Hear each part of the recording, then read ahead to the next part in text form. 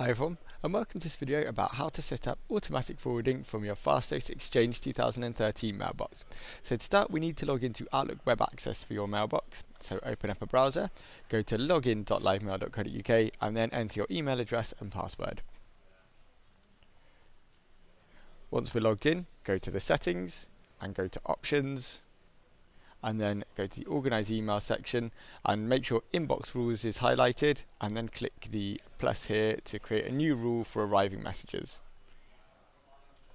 So now we're going to uh, put the rules, the settings for the rules. So give it a name uh, that you'll be able to recognize. So mail forwarding, that'd be fine for that one when the message arrives and so from that we're going to select we're going to apply it to all messages because we want to forward everything. Uh, if you don't you can just choose some of the um, the rules for it but we're going to just apply it to all messages.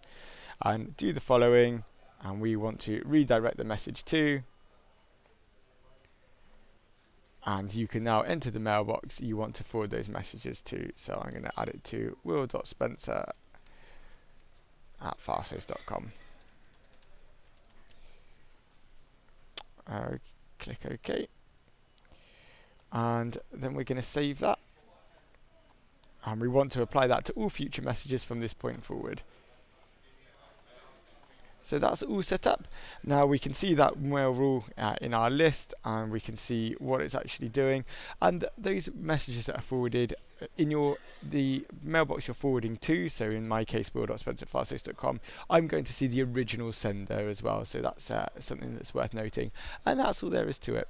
Thanks very much for watching. Goodbye for now.